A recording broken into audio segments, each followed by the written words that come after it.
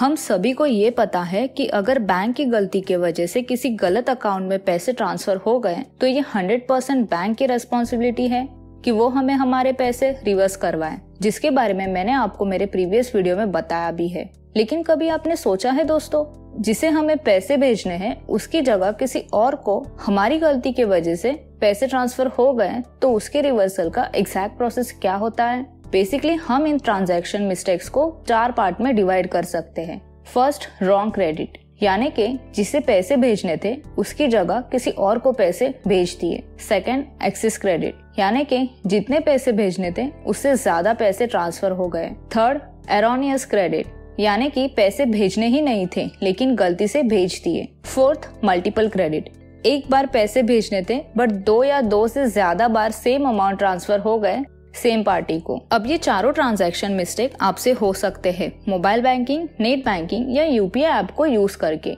या अपने बैंक में जाकर ट्रांसफ़र फॉर्म रॉन्गली फिल करने की वजह से हुआ हो।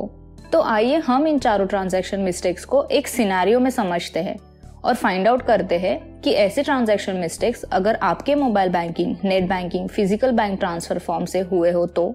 अपने फंड को बैंक से रिवर्स कैसे करवाएँ?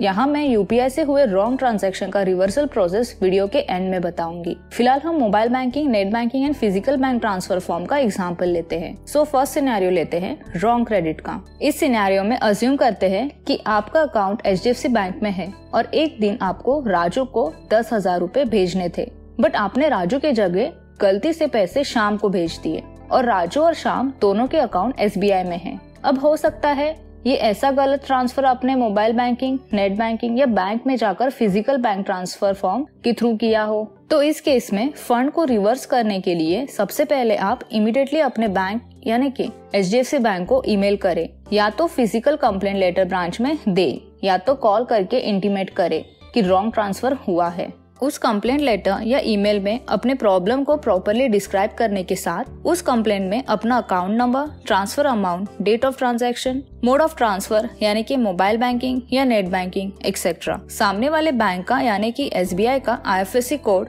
जिस अकाउंट में फंड जाना था, यानी कि राजू का अकाउंट और जिस अकाउंट में गलती से चला गया, यानी कि शाम का अकाउंट नंबर ज़रूर मेंशन करें। जैसे ही आपकी कंप्लेन आपके बैंक यानी कि एच को मिलेगी एचडीएफसी बैंक आपके बिहाफ पर अपने बैक एंड डिपार्टमेंट को इस रॉन्ग ट्रांसफ़र के बारे में ईमेल करेगी, और फिर वो बैक एंड डिपार्टमेंट सामने वाली बैंक यानी कि एस को सेम मेल फॉरवर्ड करेगी। और ये बताएगी कि हमारे एक अकाउंट होल्डर ने आपके बैंक के एक अकाउंट होल्डर यानी कि राजू को पैसे भेज भेजने के बजाय आपके ही बैंक के किसी और अकाउंट होल्डर यानी कि शाम को गलती से फंड ट्रांसफ़र कर दिया है। और फिर एस बी आई इमीडिएटली अपने कंसर्न ब्रांच को सेम मेल करेगी, जहाँ राजू एंड शाम का अकाउंट है। और उस कंसर्न ब्रांच को ऑर्डर देगी कि वो इमिडिएटली शाम के अकाउंट में दस हज़ार रूपए फंड ब्लॉक करे। और रिवर्सल का प्रोसेस स्टार्ट करें। यहाँ फंड ब्लॉकिंग को बेसिकली बैंकिंग टर्म्स में लीन मार्किंग कहा जाता है। एक बार अगर किसी बैंक ने अपने अकाउंट होल्डर के अकाउंट में पर्टिकुलर अमाउंट का लीन मार्क कर दिया तो वो अकाउंट होल्डर बिना बैंक के परमिशन के उस पर्टिकुलर अमाउंट को ना तो विड्रॉ कर सकता है और ना ही ट्रांसफ़र कर सकता है। खैर, हम हमारे सिनेरियो में वापस आते हैं, जहाँ अब एसबीआई ने अब शाम के अकाउंट को दस हज़ार से लिंक मार्क यानी के ब्लॉक कर दिया है। अब यहाँ पर कॉमनली दो सिनेरियो निकल कर आते हैं। फ़र्स्ट या तो शाम के अकाउंट में वो दस हज़ार अभी भी पड़े हुए हैं, जो आपने H D F C bank से राजू के बजाय शाम को भेज दिए थे। सेकंड या तो जैसे ही शाम के अकाउंट में दस हज़ार आए, उसने वो पैसे निकाल लिए। फ़र्स्ट सिनेरियो में S B I bank Shyam से परमिशन लेकर उसके अकाउंट से दस हज़ार डेबिट करा के वापस आपके अकाउंट में क्रेडिट कर सकती है। या तो S B I bank correct beneficiary यानी की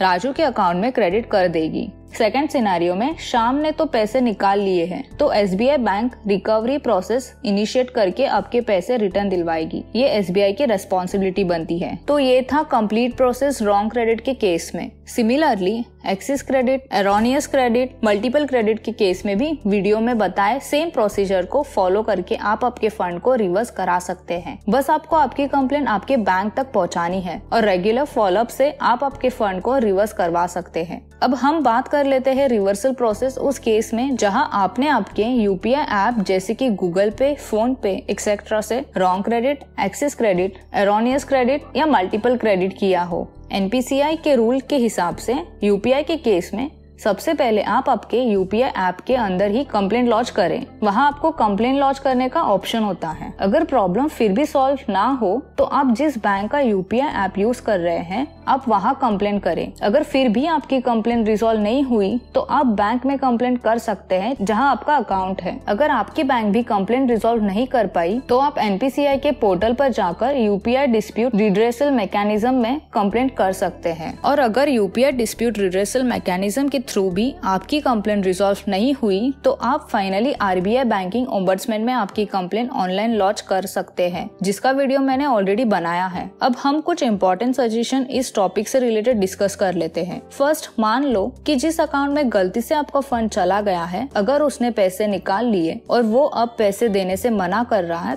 तो उस केस में आप लीगल एक्शन ले सकते हैं।